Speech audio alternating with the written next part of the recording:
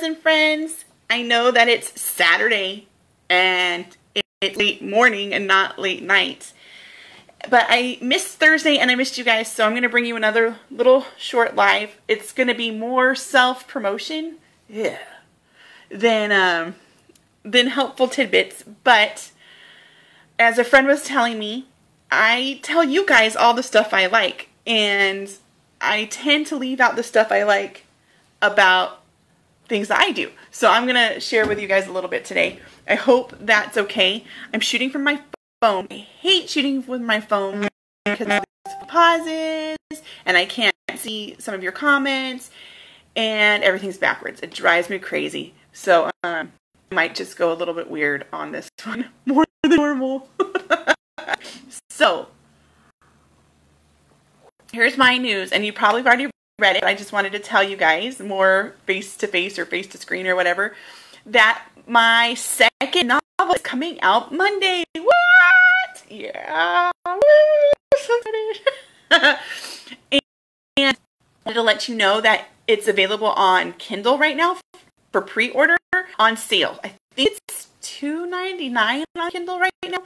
And that price will go up sometime next week, probably Tuesday or Wednesday. There, it's not going to stay at price for very long. And then the paperback comes out on Monday, and you're not not really able to purchase that until Monday. I wish you were able to pre-order it. Anyway, if you know anything about my author life at all, I've written now three books. Um, come Monday, the first book I've written, uh, I wrote was called Diary of a Dyslexic Homeschooler, and it's a short story in prose to kind of help myself understand what it would be like to be in the shoes of a, a homeschooler who was going through discovering they had dyslexia and it's not very I I'd say it's not very educational as far as um, this is what you do when things happen. It's more this is how it feels when things happen and helping people see that the kid is still a kid and all the testing and stuff and how that feels. So that was my first book and that came out over a year ago. Um, and then my second book was this one and it's going to be all backwards and I hate it. And, and that was uh, another cliche Christmas and it's a cozy mystery. And I get this question all the time. I grew up with cozy mysteries so I knew what they were. But a cozy mystery is different than like a mystery, suspense, or thriller because a cozy mystery takes place in usually a small town with the same group of people and it contains less gore, less cursing, and less uh, scenes of intimacy.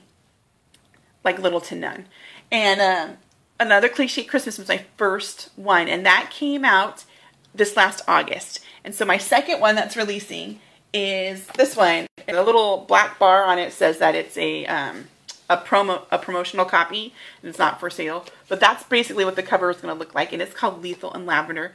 And it happens in the same small town with the same ladies um, doing the same crazy stuff. And I wrote these cozies because I've grown up on mysteries. My my mother would watch um, I don't know, let me let me list a couple things like Remington Steele uh, Diagnosis Murder was there for a while. Perry Mason. What's the one with Dick Van Dyke? No, that was Diagnosis Murder. There was another one where Andy Griffith was a lawyer. Biscuits. I can't remember the name of it. Anyway, we would watch those like during lunch with her in the summertime, or if we got out of school early on a half day, that's what we'd watch while we're eating our, our sandwiches and chips and uh, fruit or whatever. And so I was raised on those. And then she, she also really liked Alfred Hitchcock movies and movies like that. And I grew up on those. Uh, they weren't gory, they were scary, they were suspenseful, but um, they didn't contain any of the stuff that would make me go, you know, as a kid or anything like that. And so I know this genre really well. I grew up in it. That's why I like to write it.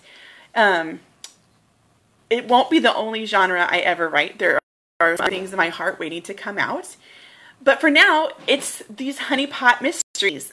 And they're all about these three homeschool mamas who solve mysteries as they're homeschooling their children, as they're going through life, you know, um, as a Christian homeschooler involved in their church and stuff, it tends to happen that people just assume because you're home, you're free. and you try to meet the needs of your church and people around you. So you find yourself constantly busy and constantly going, and that's no different um, for us than it is for my heroines in my honeypot series. So I'm going to just do a little plug. I really hate doing this, but I do love my books. I won't say they're up there with the books that I review because the books that I review are amazing and fantastic, but I do love my books and I really enjoy writing them and I really hope you guys enjoy reading them. So I'm going to ask you to do two things. If you're interested at all, head over to Amazon or barnesandnoble.com or wherever you buy books and look for one of my books. Diary of, Diary of a Dyslexic Homeschooler. Their coming Monday, Lethal Lavender, which is mm-hmm. only available on pre-order right now on Kindle on Amazon. If you've already read one of my books and it was tolerable, or you liked it, please shoot on over to the same places, Amazon, BarnesNoble.com, and leave a review. Reviews move book sales. They help people find the book. They help platforms like Amazon and whatever. After a certain number of reviews, your book will pop up among the first couple books when put in a search. Mine are Christian cozies. So if somebody put in Christian cozies, they're going to come I've done this. There's pages and pages of Christian cozies.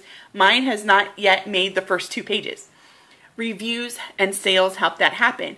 But reviews don't have to be crazy elaborate. They can be a star rating. And again, I would love a five star rating, but I want you to be honest because this is what I'm about. Um, but it could be something as simple as just bought this book, so excited. Um, and maybe you finish reading it and you forget all about it after that. You can do that right after you ordered the book. Just bought this book, so excited to get it. It doesn't have to be this huge elaborate review. But I would love it. And I would love to know what you guys think of my peoples in my books. They're homeschoolers like me. They're homeschoolers like some of you guys. They're moms. They're crazy. They're middle aged and they're caffeine dependent. At least two of them are. All right, guys. Thanks for putting up with me. I totally missed you guys on Thursday. I'm hoping this next week, if life can just give me some little corners of space, I'm hoping to do a few extra special things because my book is releasing. I'll still be there with the verse of the week, and I'm hoping to be there Thursday with what with what we normally talk about. But you might get a free a few little other videos in there that aren't related to what we normally talk about, just because I'm excited to make your tax week a little bit brighter by releasing my new book. All right, guys, I'll catch you later. Bye.